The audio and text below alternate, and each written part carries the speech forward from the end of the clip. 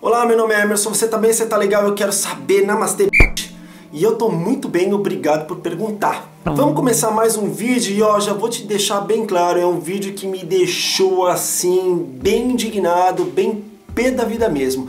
Não vou ficar enrolando muito não, vamos começar!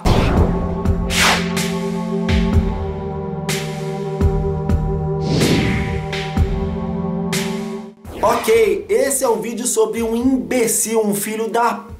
Um cretino, um desgraçado, um filho do demônio, filho do capeta e olha, e tantas outras coisas.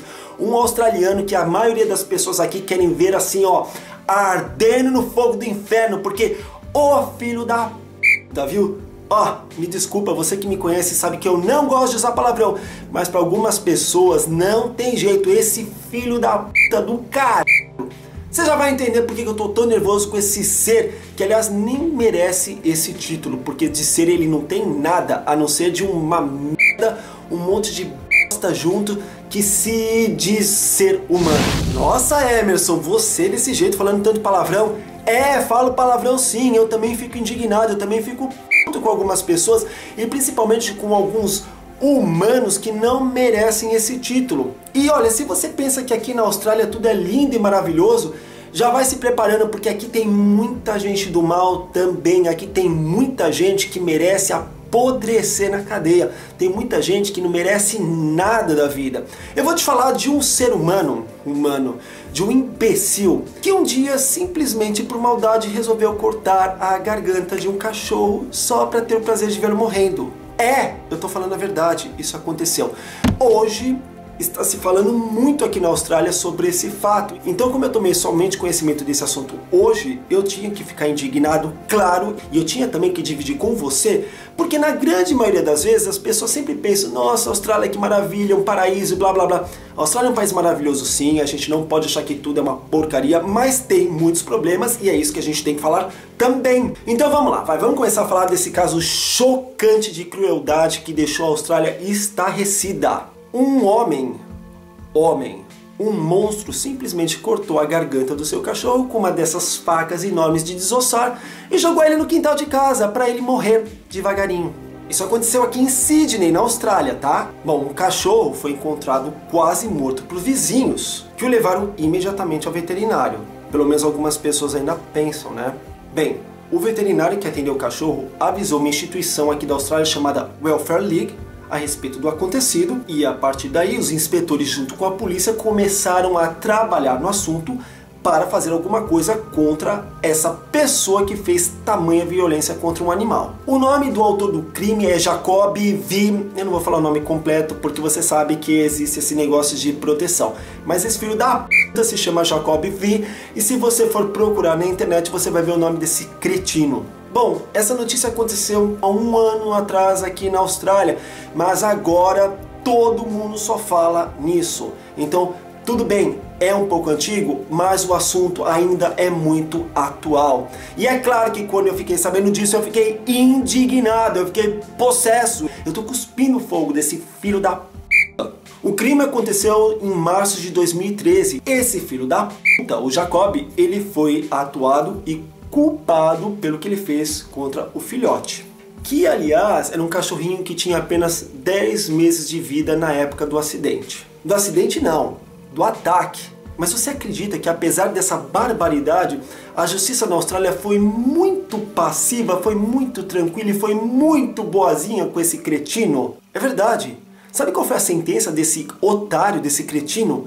Apenas 12 meses de prestação de serviços comunitários. O quê? O quê? 12 meses de prestação de serviços comunitários, um homem que faz uma coisa como essa. Esse cretino, esse boçal deveria estar tá mofando na cadeia, porque não dá pra gente entender uma coisa como essa. O recado que fica aqui, Austrália, é que você pode fazer qualquer agressão contra animais porque nada vai acontecer. Então, você que pensa que a Austrália é um exemplo de justiça e tudo mais, esse é mais um exemplo de que as coisas aqui são falhas Sim, e não me venha com esse papo de que, ah, mas essas brutalidades acontecem no Brasil, acontecem em qualquer lugar do mundo. a gente sabe, mas já que a Austrália é considerada um país de primeiro mundo, um exemplo para um monte de coisa, não dá pra gente aceitar esse tipo de sentença. Você degola o seu cachorrinho, deixa ele sofrer e depois você vai ser sentenciado a prestar serviço comunitário. Ah, faça-me o favor, né, Austrália? Vamos acordar também. Eu tô vendo que esse país já tá começando, ó, ó, ó. Mas enfim, nem vou ficar falando mal da Austrália porque eu já tô na fase amarga, porque eu tô vendo muita coisa ruim acontecendo aqui também. E aliás, esse é o intuito do meu vlog. Eu não quero só te mostrar as maravilhas, as coisas fantásticas. Claro que é muito bom morar aqui, tem coisas muito boas, mas você também tem que entender que existem coisas muito ruins, existem coisas cruéis, existem coisas que te deixam de cabelo em pé. Enfim, vou voltar para a história desse cretino, desse imbecil, tá? Bom, depois do ataque, a Animal Welfare está com a custódia do animalzinho. E essa instituição, ela é tão organizada, ela é tão fantástica que ela está fazendo um trabalho intensivo para fazer com que o cachorro volte a ter uma vida normal, apesar de tudo que ele sofreu no passado. Ele está tendo tudo que você possa imaginar. A sua reabilitação tem até especialistas em comportamento. E tudo isso só é feito para que ele volte a ser um cachorro normal e confie novamente nas pessoas. Porque querendo ou não, se você pensa que um cachorro não fica traumatizado com essas coisas, fica assim. Isso vai ficar para sempre na memória desse cachorrinho. Mas ele está sendo muito bem atendido depois dessa história tão brutal e tão triste. Bem, a boa notícia disso tudo é que com o sucesso da sua reabilitação, muito em breve ele vai para uma casa de adoção. E aí sim vai encontrar uma nova família que o ame, que o respeite, que dê carinho e que mostre que seres humanos são seres do bem. Ou pelo menos que mostre que seres humanos são seres que têm que ser do bem, que têm que respeitar um animal. Eu já disse isso várias vezes. Um humano que não respeita um animal não é digno de respeito. Isso, já vou até sair do assunto Austrália, seja lá o que for. Tá mais do que na hora da gente parar com esse negócio de violência contra animais. Tá na hora da gente parar de violência contra qualquer ser. Mas eu não vou falar dos outros seres, seja lá o que for. Esse assunto é específico sobre animais. Tá na hora do humano se conscientizar e fazer alguma coisa para proteger os nossos animaizinhos que na grande maioria das vezes são indefesos. Um animal só te ataca quando ele se sente acuado, quando ele se sente ameaçado, quando ele está com fome.